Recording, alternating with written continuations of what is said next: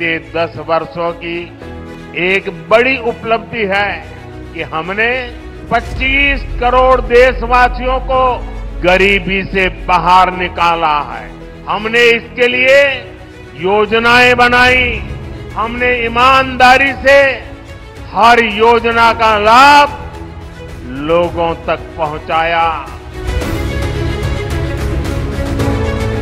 हमने देश भर में गरीब परिवारों को चार करोड़ से ज़्यादा पीएम आवास बनाकर दिए।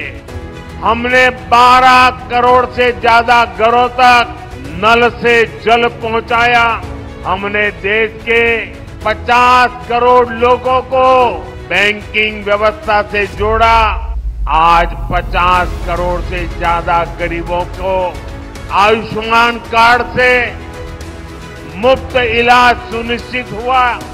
पीएम स्वनिधि जैसी योजनाओं के ज़रिए गरीबों को आत्मनिर्भर बनाने के लिए हज़ारों करोड़ रुपए की सहायता दी। हमारा विजन है विकसित भारत का निर्माण।